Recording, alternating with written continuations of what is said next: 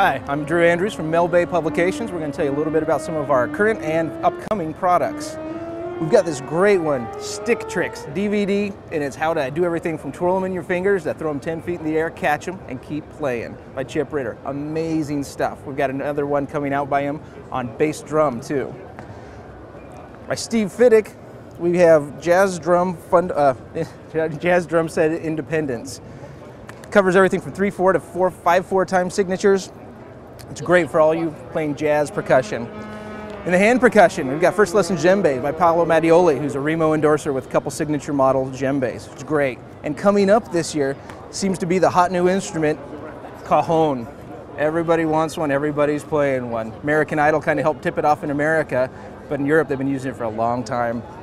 And we've also got coming up Bodhran the Basics. So if you're getting into the Celtic Irish thing, it's a great hand drum with a little wooden stick. Beat it like you mean it. All right, uh, check out our website, melbay.com, or also we have a monthly web magazine called percussionsessions.com. Check those out. It's free for the looking and free for the taking. Thanks a lot.